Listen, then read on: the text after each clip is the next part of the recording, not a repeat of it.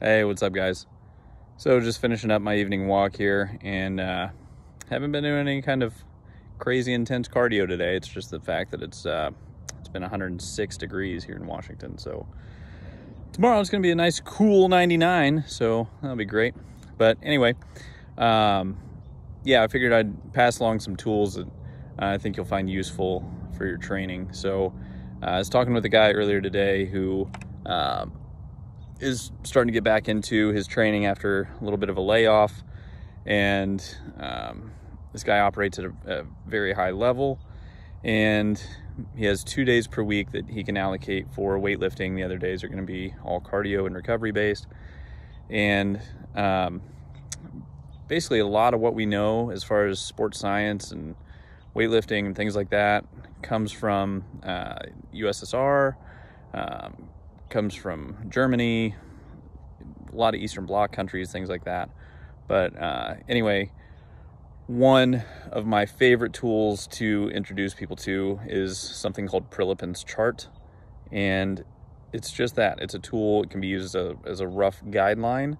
Um, there are tons of articles out there that will go into the details of what it is, limitations, how to use it, how's it changed for you over time. Um, but the big thing is there's basically one column that is for uh, percentages. And it'll say, you know, for example, 55 to 65%. The next column will say, okay, well, here's how many reps you should be doing per set. Here's how many sets you should be achieving. Here's the range. Here's the optimal number of reps. And then it goes from, you know, 55 all the way up to 100%. Now, the big thing with this, there, there are a few limiting factors, is it's fairly vague and fairly open to, uh, you know, the, the uh, view from the coaches.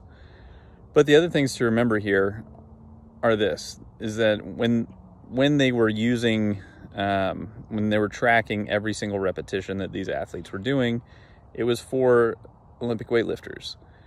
And they had you know, let's throw the whole PEDS thing out because, very, like it or not, every almost every single high performing athlete is on some sort of PED.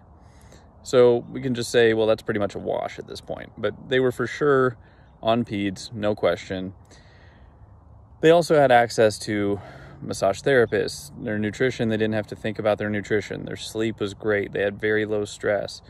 Uh, so then when you try to introduce one of these charts to uh, people who don't have all of those luxuries and they actually have a job and a life and all that other stuff, then you can't take all of those numbers at face value. But it can be a bit of a guideline to kind of dictate, you know, how much is too much. Uh, okay, if we know that it says 30 reps is going to be optimal, well, maybe we take 10 to 15% off the top to account for all those factors I just outlined.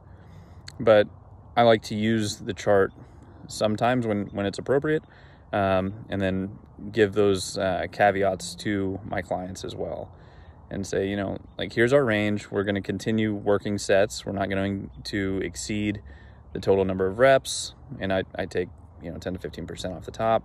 Um, and we're going to continue doing sets until we see a drop off in terms of quality, or we can do you know, speed drop-offs, velocity drop-offs, things like that. But it's just a tool, and it's it's a tool for our main compound lifts. It's not for our accessory work. It's not for our supplementary work. Definitely not for conditioning. But it, it's just another guideline, another tool in the toolbox. So if you're very serious about your training, then you'll start to dive into more of these things that um, different countries, different scientists, different approaches to developing athletes have, have done.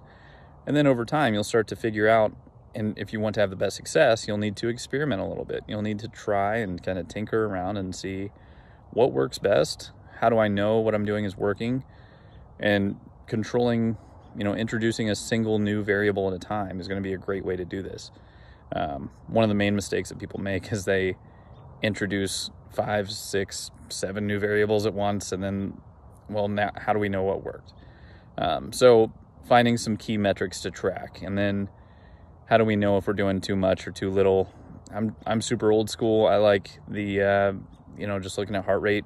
You know, assessing heart rate upon waking. I think is a great great option. Um, then I use some just jump mats where we'll do uh, vertical jump assessments on a daily basis, and then uh, if any of those two numbers start to get out of hand, the heart rate or the vertical jump, then we will uh, make adjustments to our training. But anyway, that's that's just one one tool I'd encourage you guys to look at and dig into a little bit and try introducing it for your main lifts um, and then see how it goes. So if you have questions, be sure to shoot me a DM or comment below.